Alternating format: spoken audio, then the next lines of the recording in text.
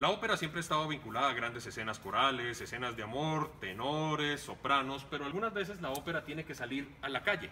Ese es el caso de esta obra, la ópera de los tres centavos del compositor alemán Kurt Weill.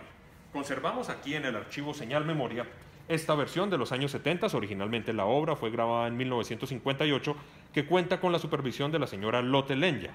Ella era la esposa del compositor, de Kurt Weill, y además de haber intervenido en la primera versión, en el estreno de esta obra en los años 20, también intervino en la grabación de esta obra. Directamente ella tenía un papel protagónico.